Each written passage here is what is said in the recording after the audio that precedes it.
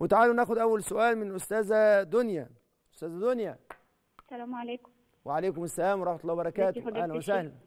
أنا دنيا اللي كلمت حضرتك امبارح فاكرني؟ آه. أه بقول لحضرتك أنا عاوزه أفهم ما معنى إن ربنا ما بيقبلش دعاء في اسم أو قطيعة رحم؟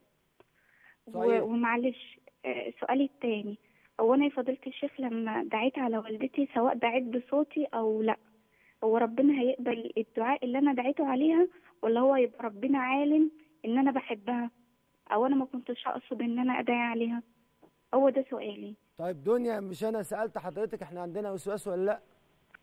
حضرتك آه وأنا عندي وسواس في, في كذا حاجة. عندي وسواس خلاص أنا هجاوب حضرتك يا وفي أستاذة دنيا. طيب هجاوب. حضرتك. هجاوب حضرتك هجاوب حضرتك يا أستاذ دنيا. أول حاجة كل اللي أنت بتدعيه تحت تحت الوسواس الله سبحانه وتعالى مش هيحاسبك عليه. وأي دعاء هتدعيه على والدتك الله سبحانه وتعالى يعلم أن هذا رغما عنك. ليه طيب؟ لأن الله تجاوز عن امتي الخطأ والنسيان وما استكرهوا عليه.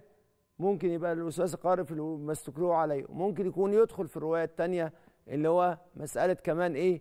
أو ما حدثت به انفسهم فإن شاء الله سواء تلفظتي أو ما تلفظتيش إن شاء الله ربنا سبحانه وتعالى هيحفظ والدتك وهو عارف إن أنت بتحبيها ومش هياخد بهذا الكلام اللي بيجري على أفكارك ولا بيجري على لسانك لأن دوت معروف إن دوت من المرض. لكن نصيحتي إن حضرتك لو سمحتي اهتمي بمسألة العلاج.